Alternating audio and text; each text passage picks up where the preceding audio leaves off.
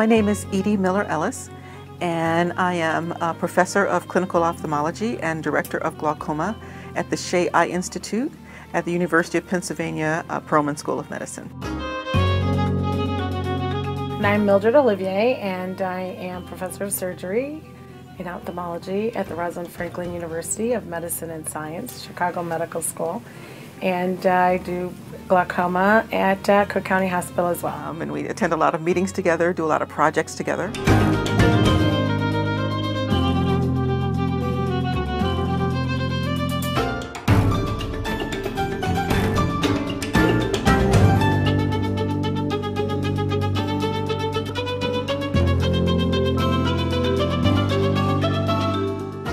My first Women in Ophthalmology meeting was maybe about eight years ago. One of my uh, friends, a glaucoma specialist, Anne Coleman, was president that year, and she's like, You really should come to Women in Ophthalmology. And I had never been to a meeting, even though I was a member. And I went that first time, I remember it was in Park City, Utah, and I've been every year since. I thought it was the most empowering, positive meeting. It's all about mentorship and networking. And also, uh, most importantly, I think for me, is really about uh, bringing women into leadership positions and uh, learning what, um, you know, how we can make it easier for some women in some countries which still have uh, great uh, difficulty in perhaps uh, doing what they love, their passion. Mm-hmm. And also, I think women here, because oftentimes we're still, we have a thing now uh, from the pathway to the podium because we want to see more women, but we'd like to see more women on stage presenting uh, their scientific projects, being part of leadership. The other great thing about women ophthalmology is that we do have this symposium. There is mm-hmm. a scientific aspect to it.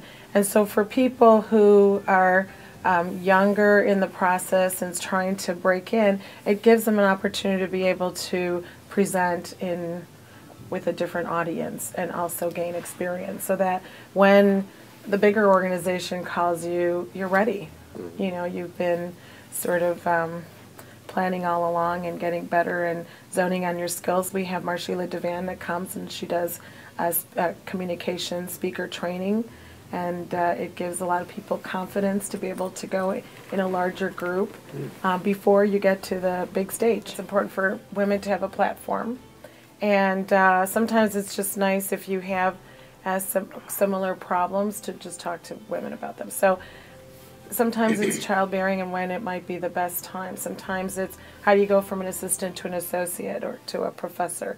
You know what you have to do, and that's different at many academic centers.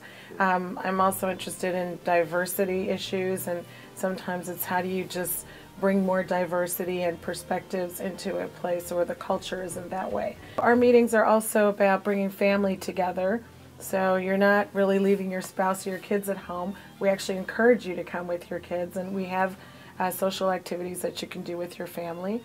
And it's always in the summertime uh, for that reason. So uh, it's a different kind of a meeting. I initially got, my parents are both from Haiti, I should say that. And so I was going to Haiti when I was a little girl, and we would go on vacation there. I got into ophthalmology, and I was at Harlem Hospital when John Mitchell actually had been going to Haiti and asked me to go to Haiti.